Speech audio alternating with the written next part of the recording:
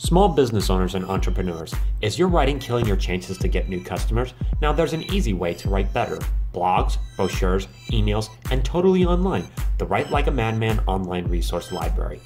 Check out writelikeamadman.com. Sign up for the free newsletter and get ready to start making money like crazy.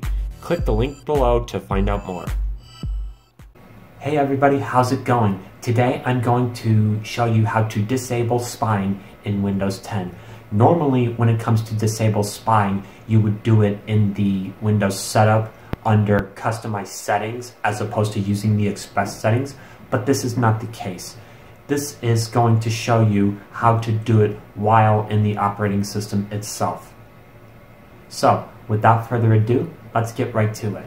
Okay, so when disabling the spying on Windows 10 in the operating system, it is very easy to do all you have to do is go into Start, and then click Settings, and then you go into Privacy. Much like the setup screen, you'll notice that these privacy features are set to on. We will want to turn these off. Now, this is just the general section. You'll also notice on the left that there is speech inking and typing personalization, diagnostics and feedback, and activity history. All of this under Windows permissions is what you definitely, definitely want to disable. So this is just the general section. Time to go into the speech section. We will want to turn this off. Then into inking and typing personalization.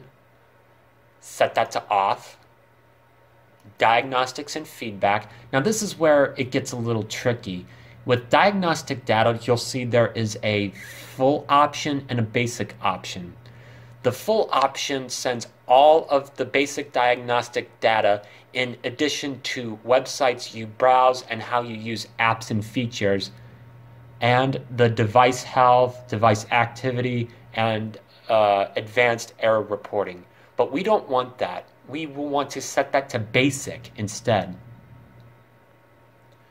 Now, to turn this stuff off, we will want to turn off the improve inking and typing, the tailored experience, and uh, turn off the view diagnostic data.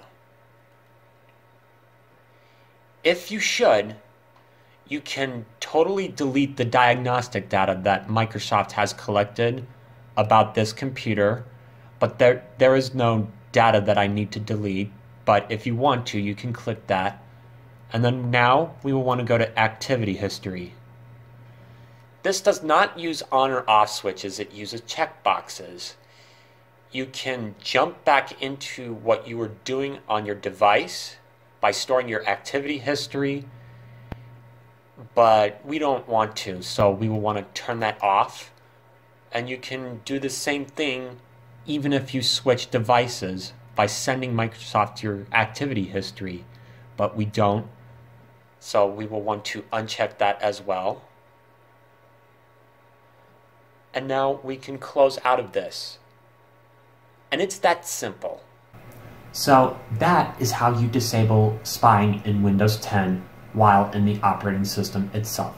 Thank you for watching. Please make sure to subscribe, hit that like button, and check out some of my other tech videos too.